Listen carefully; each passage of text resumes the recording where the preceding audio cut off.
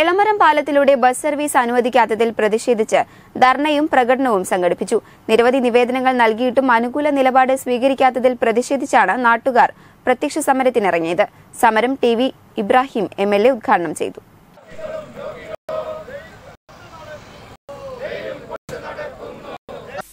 മലപ്പുറം കോഴിക്കോട് ജില്ലകളെ ബന്ധിപ്പിക്കുന്ന പ്രധാന പാലമായ എളമരം വഴി ബസ് റൂട്ട് അനുവദിക്കാൻ വൈകുന്നതിലാണ് നാട്ടുകാർ പ്രത്യക്ഷ സമരവുമായി രംഗത്തെത്തിയത്.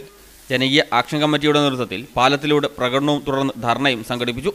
പാലം തുറന്നിട്ട് ഏഴ് മാസം പിന്നിട്ടിട്ടും ബസ് റൂട്ട് അനുവദിക്കാത്തതിൽ വലിയ ജനരോഷമാണ് ഉയരുന്നത്. ഇരു ജില്ലകളിലെയും ആർ ടി ഒമാർ വിചിത്രവാദങ്ങൾ ഉയർത്തി അനുമതി നിഷേധിക്കുന്നത് ഇനിയും തുടരാൻ അനുവദിക്കില്ലെന്ന് പ്രക്ഷോഭത്തിൽ പങ്കെടുത്ത നേതാക്കൾ പറഞ്ഞു. ഉദ്യോഗസ്ഥ ഭരണം അവസാനിപ്പിക്കാൻ സർക്കാർ മുൻകൈയെടുക്കണമെന്നും നേതാക്കൾ പറഞ്ഞു. ഏളമരത്ത് പാലം വരാൻ വേണ്ടി ഒന്നിച്ചു നിന്ന ജനങ്ങൾ ബസ് റൂട്ടിലായാലും ഒറ്റക്കെട്ടായി അവസാനം വരെ പോരാടുമെന്നും നേതാക്കൾ പറഞ്ഞു. ധർണ T V Ibrahim M L A ഉദ്ഘാടനം ചെയ്തു. തികച്ചും വേറിട്ട രീതിയിലുള്ള ഒരു സമരത്തിനാണ് നമ്മളിപ്പോൾ ഇവിടെ നേതൃത്വം നൽകിക്കൊണ്ടിരിക്കുന്നത്.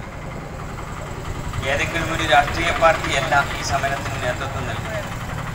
ഏതെങ്കിലും ഒരു തൊഴിലാളി സംഘടനയോ അല്ലെങ്കിൽ മറ്റേതെങ്കിലും ഏതെങ്കിലും ഒരു വിഭാഗത്തെ പ്രതിനിധാനം ചെയ്യുന്ന ജനങ്ങളോ അല്ല. മറിച്ച് ഈ ഇടമര പ്രദേശവും അതിന്റെ ചുറ്റുഭാഗത്തുമുള്ള മുഴുവൻ ആളുകളും ഒന്നിച്ചൊരു സമരത്തിനിറങ്ങുകയാണ്.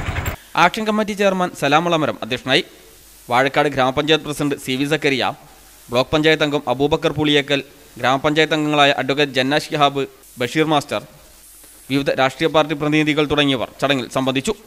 News bureau Mavoor.